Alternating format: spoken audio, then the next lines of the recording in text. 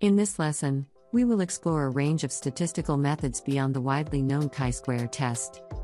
We will learn about various nonparametric tests that serve as powerful alternatives for when we lack interval ratio data or in situations where certain assumptions about data distributions cannot be met. First, let's look at the goodness of fit test, a fundamental nonparametric technique that is an extension of the chi square test where we have only one category to analyze.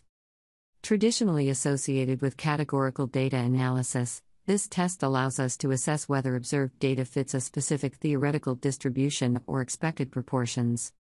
The goodness of fit test goes beyond traditional hypothesis testing by employing ranks or counts rather than relying on precise numerical values. Using an example of hospital admission and discharge data, we can see how the goodness of fit test works as a nonparametric test. It allows us to assess whether the observed frequencies or counts significantly deviate from what is expected under a given distribution. We have counts that we compare to a known proportion or an all equal distribution. In this way, the goodness of fit test is just like a one sample t test. Looking at this data, we examine the discharge counts to see if there is a significant pattern. Here are null and alternative hypotheses. The null hypothesis is that he observed data follows the specified theoretical distribution. The alternative hypothesis is that the observed data does not follow the specified theoretical distribution. StatCrunch can do this easily for us. Once we type the data into StatCrunch, we see there is apparently a lot of discharges happening at the start of the weekend. To analyze the data, we simply click on the Stat tab, then the Goodness of Fit menu, and then select chi-square test. This calls up the chi-square test dialog box. We click on the column that has our observed counts, discharges in this case. The expected values would be all cells in equal proportion, or simply put, if nothing is going on, the discharges should be the same each day. If we had a population value of some research data to tell us what the counts should be, we would select the column data to run our test. We click Compute and StatCrunch calculates the expected counts and performs the chi-square test for us. With a p-value of 3%, this one is significant, right? We reject the null hypothesis. Like on the weekends, they're just discharging a lot of people on Friday. The expected number of patients to be discharged should be 92 and 120 were discharged. And this difference is not due to chance. When dealing with independent groups, nonparametric tests provide robust alternatives that do not rely on specific distributional assumptions. These tests are particularly useful when the data is ordinal, skewed, or when sample sizes are small.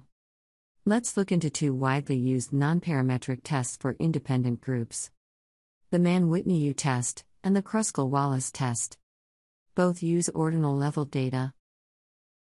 The Mann Whitney U test is a nonparametric equivalent of the independent samples t test. It assesses whether there is a significant difference between the distributions of two independent groups or treatments. This test is suitable for ordinal or ranked data and can be done easily by computer software. The Mann Whitney U test works by ranking all the observations from both groups combined and comparing the sums of ranks for the two groups. The test produces a U statistic and corresponding p value.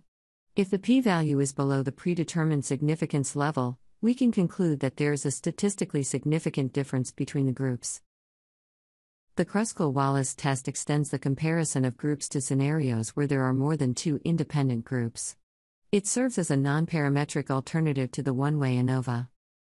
The Kruskal Wallis test determines whether there are significant differences in the distributions of multiple groups, without making assumptions about the shape of the distributions. To conduct the Kruskal Wallis test, we rank all the observations from all groups combined and calculate the sum of ranks for each group. The test produces a test statistic and a corresponding p value. Again, if the p value falls below the predetermined significance level, we can conclude that at least one group significantly differs from the others. When we conduct a Kruskal Wallis test, a significant result indicates that there is a significant difference among the groups being compared. However, it does not provide specific information about which groups differ from each other. To identify the specific groups that exhibit significant differences, we can utilize a post hoc test such as the Dunn procedure. The Dunn procedure helps identify which groups differ significantly from each other by conducting multiple pairwise comparisons while adjusting for the increased chance of type 1 errors or false positives that arise from conducting multiple tests. Next, we will look at the test for dependent groups. This table lists the nonparametric tests for dependent groups based on the number of groups and the level of measurement. These tests allow us to compare related or paired observations within a group when the assumptions of parametric tests, such as paired t tests, are not met. Recall that dependent groups refer to situations where observations are not independent but are linked or connected in some way. These may arise from matched pairs, repeated measurements on the same subjects, or pre and post treatment comparisons. The nonparametric McNemar test is a statistical test used to analyze paired nominal data. It is specifically designed to assess the difference in proportions or frequencies before and after an intervention or treatment, where the measurements are dependent within each pair. The Wilcoxon signed rank test is a nonparametric equivalent of the paired t test. It is used to determine if there is a significant difference between paired observations or treatments within a group. This test is suitable for ordinal data, the Wilcoxon signed rank test works by ranking the absolute differences between paired observations and comparing them to the expected distribution under the null hypothesis. Cochran's Q test is a nonparametric statistical test used to analyze dependent categorical data that involve multiple measurements or repeated measures on the same subjects or items. Designed to assess whether there is a significant difference in the distribution of outcomes across multiple categories. Cochran's Q test is particularly useful when the data violates the assumptions required for parametric tests, such as the chi square test for dependent samples. It is commonly applied in various fields, including psychology and social sciences, where researchers are interested in examining changes or patterns in categorical variables over time or under different conditions. The Friedman test extends the comparison of dependent groups to scenarios where there are more than two related groups. It serves as a nonparametric alternative to the repeated measures ANOVA. The Friedman test ranks the observations within each group and calculates the average rank for each group. The test compares the average ranks across groups to determine if there are significant differences. The test produces a chi square test statistic and a corresponding p value. This chart shows the parametric nonparametric analogs we have been discussing also known as parametric nonparametric equivalents or alternatives. These are pairs of statistical tests that serve similar purposes but are based on different assumptions about the underlying data. The actual test employed is based on the independence of the groups, the number of groups, and the level of measurement as summarized in the last slide for this module. You will also find a handy guide to nonparametric tests in the charts and tables guide from the course.